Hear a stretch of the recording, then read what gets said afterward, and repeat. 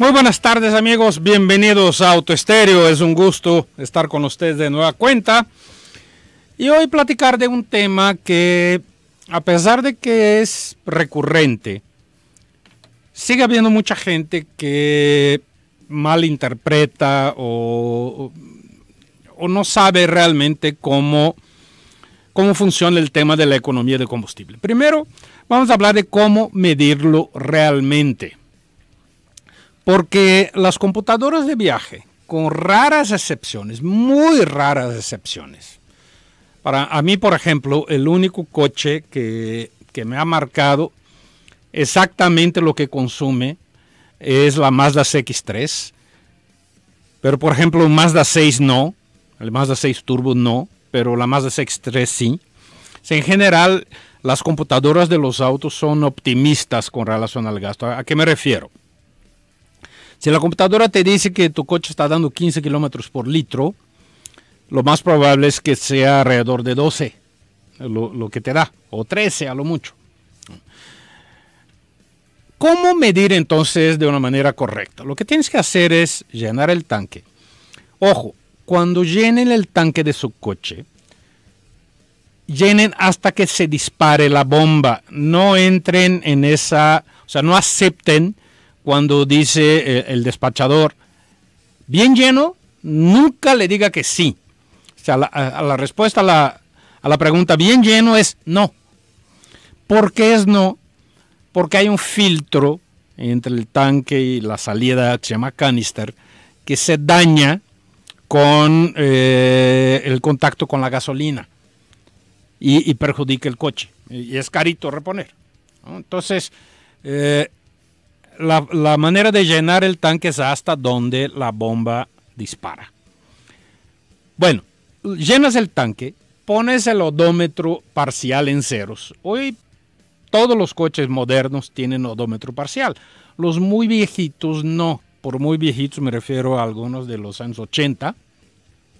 Todavía no tenían. Esos que no tienen, lo que hay que hacer es apuntar el kilometraje. Entonces, pones el odómetro en ceros o apuntas el kilometraje y ruedas. Y a circular. Y la medición lo hay, hay que hacerla con medio tanque o más de medio tanque para que realmente tengas una idea del consumo promedio del coche. O sea, si, si lo llenas hoy, ruedas, no sé, 40, 50 kilómetros, en dos días lo vuelves a llenar, no, no te va a dar realmente eh, un, consumo similar. Lo ideal es que recorras los, el caminito de todos los días que haces casa, no sé, al trabajo, trabajo a poner a casa a tus papás y luego en la noche regresas a tu casa y al día siguiente en lugar de casa a tus papás al gimnasio, no sé, que hagas tu rutina normal y vamos a decir que en esa rutina normal anduviste 300 kilómetros. Vuelves a llenar el tanque, de preferencia en la misma gasolinera, en la misma bomba y en la misma hora porque incluso la temperatura ambiente eh, afecta por la evaporación, o sea, mientras más calor y más sol, eh, hay una evaporación mientras llena, es mínima, pero hay. Entonces, lo ideal es hacer eso. Entonces, vamos a decir que rodaste 300 kilómetros y que entraron 30 litros de, gasolina a tu tanque. La cuenta a hacer es 300 kilómetros divididos entre 30 litros, te va a dar 10 y ahí tienes tu consumo 10 kilómetros por litro.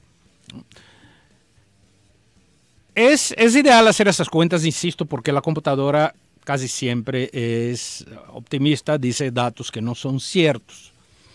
Para tener el consumo es así, pero el tema del consumo de combustible es muy variable y no solo es variable de coche para coche, sino de lugar para lugar, de día para día y de persona para persona.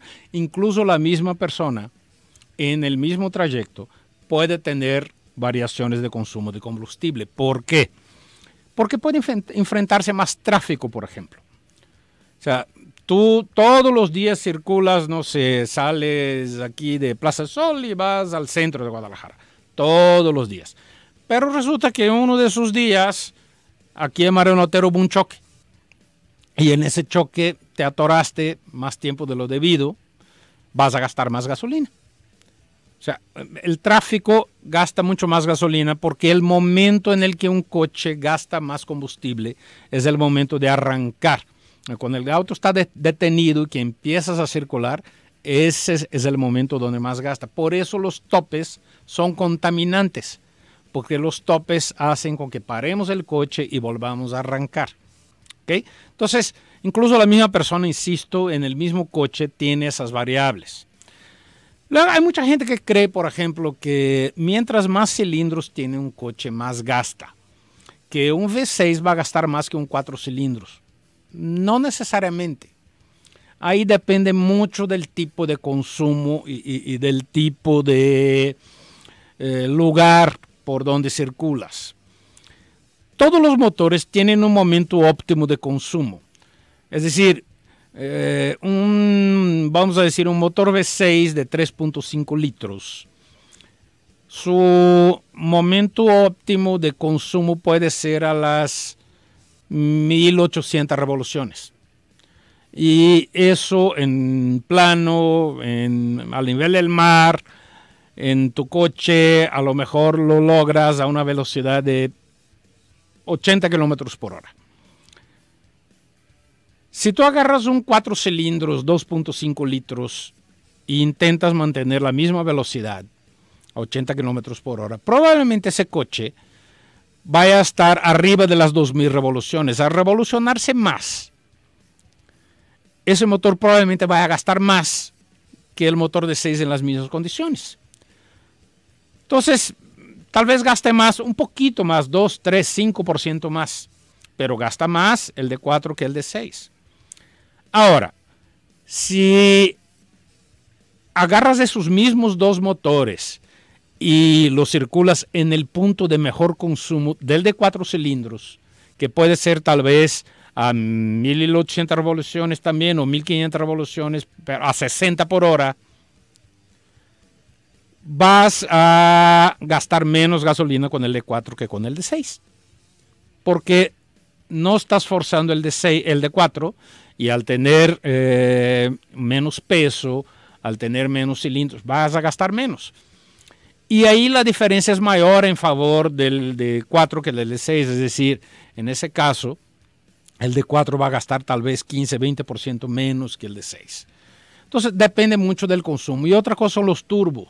Con los turbos también el, manejo, la forma de conducir es muy importante para determinar si gasta más o gasta menos. O sea, Ford tiene motores que los llaman EcoBoost, que de broma, entre los que estamos en eso de los autos, mencionamos que es mucho más boost que eco, porque es un turbo que te da más boost, es decir, más empuje, pero eh, no necesariamente te da mejor consumo, porque si quieres usar ese poder, el consumo va a, ser mayor. Entonces, si tú agarras una Lobo EcoBoost con un 6 cilindros biturbo y agarras una Cheyenne con un V8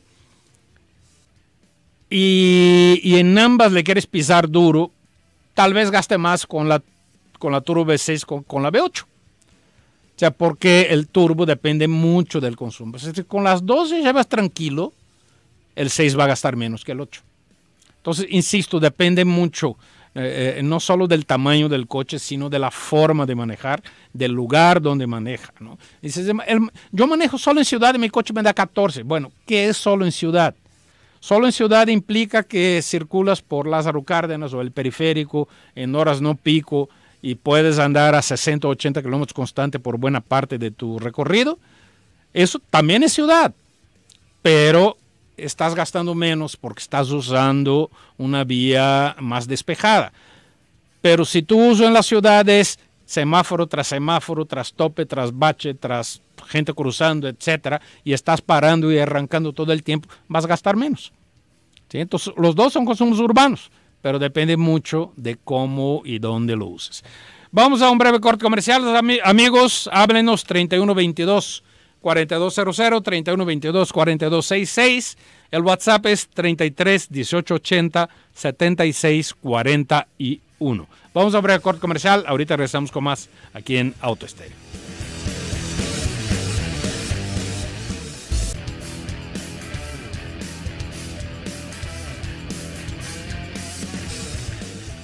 Muy bien amigos, estamos de regreso aquí en Auto Estéreo. Un par de preguntas aquí por teléfono. Jorge López pide opinión del Ford Fusion 2016, un gran coche en cualquiera de sus versiones, tanto turbo como no turbo. Eh, buen manejo, seguridad, etcétera. El turbo, obviamente el consumo depende mucho del manejo. Eh, Carlos González quiere saber si sigue fabricándose el Golf GTI versión manual 2018. Híjole, manual creo que no. Creo que es solo automático, pero no estoy 100% seguro. ¿eh? Aquí por WhatsApp Daniel pregunta si le conviene cambiar un Versa 2016 estándar por un Prius. Pues mira, si vas a gastar para, para trabajar como taxi ejecutivo, Obviamente vas a gastar mucho menos gasolina con el Prius, pero la diferencia de precio es grande, o sea, no, no va a compensar lo que vas a invertir más por, por eso. Yo, si estoy buscando desde un Versa economía de combustible, compraría un 301 diésel. Gasta lo mismo que el Prius, pero es mucho más barato que el Prius. Eh, Ralph pregunta eh, ¿qué, ¿qué, recomendamos Rio L, Versa o Accent GL todos con solamente dos bolsas. ¿Y dónde puedo escuchar el programa del sábado? Se lo perdí. Eh, y no lo subieron a la página ni a YouTube. Eh, buena pregunta, ¿eh? No, no sé. Eh, tuvimos ahí problemas con internet, pero no sé si eso implicó no subirlo a YouTube. Sobre los autos que preguntas, yo me iría por el Accent GL. Por lo menos ya tiene control de estabilidad. Eh, Carlos Castro, ¿por qué hay carros con el mismo nombre? Yo pensé que no se podría, eh, refiero al Lincoln y al Bentley Continental. Pues en algunos casos se puede, en otros no. Eh, a veces las marcas llegan a un acuerdo con nombres históricos como el Bentley y el Lincoln. Puede haber, probablemente hay un acuerdo. En general no se puede adentro de un mismo país, aunque puedan en países distintos. Terminación 8271. No pierdo ningún programa, gracias. Y cuando no puedo buscar en YouTube, el sábado no subieron. De nuevo, eh, no sé si se pudo o no subir lo de sábado. Y ahora que apenas volvimos a tener internet, si eso se puede arreglar. Eh, terminación 6220. ¿Cuál sería mejor valor por mi dinero? Me interesa una Peugeot 3008 Allure Pack u otra versión sería mejor. Yo creo que sí, la, la Allure Pack es la mejor mm, eh, eh, versión de la Peugeot 3008. Eh, José Manuel pregunta si el Swift Booster Jet puede alcanzar los 200 km por hora o se encuentra limitado. Sí, sí, sí puedes alcanzar incluso arriba de 210. Terminación 65, eh, perdón, 6358. Eh, saludos, felicito por el programa, muchas gracias. Opinión sobre Volvo S60 T5 con 80 mil kilómetros en 100 mil pesos, vale la pena. Híjole, no tengo idea. Mira, no nos dices, por ejemplo, el año del coche. Y, o sea, son autos, son buenos autos de manejo y, y es buen auto en seguridad pero son coches generalmente latosones ¿eh? y, de mantenimiento caro. Y además sobre el precio no tenemos idea de, precio de usados. Hay tantas variables eh, para los precios de usados que realmente preferimos no, no mencionar eh, ese tema. Eh, Gerardo pregunta si para la prueba de manejo se puede hacer con un auto automático. Me imagino que preguntas para la licencia. Y no lo sé, desgraciadamente no tengo, no tengo esa información, perdóneme. Anónimo 3 pide comentarios sobre la Duster 2018 que quiere comprar una. Mira, es un buen producto. Yo me iría más por las versiones básicas de la Duster que por las más equipadas. Por valor-precio. Porque ya cerca del 300 mil pesos, ya mejor te das el brinco por una que tenga más seguridad, como la Creta, por ejemplo. Ya tiene seis bolsas de aire, control de estabilidad. Entonces la Duster en las versiones de alrededor de 250 mil pesos, si quieres, porque quieres, porque quieres una camioneta, porque por ese precio hay autos más seguros, como un Mazda 2 Sedan, como un Kia Rio, como un Accent, etc. Entonces, si realmente quieres una camioneta, me iría por las versiones básicas y de preferencia manual por el consumo. Eh, Antonio Vargas dice que tiene un Seat Ibiza 2018. La tapicería del asiento del piloto ya tiene un desgaste en la parte de abajo donde se une el asiento respaldo. Y el respaldo en la parte de abajo ya se desgastó y se ve muy feo. En ese caso se aplica la garantía del auto por desgaste rápido de tapicería. El carro tiene apenas seis meses. Quiero pensar que sí se aplica la garantía.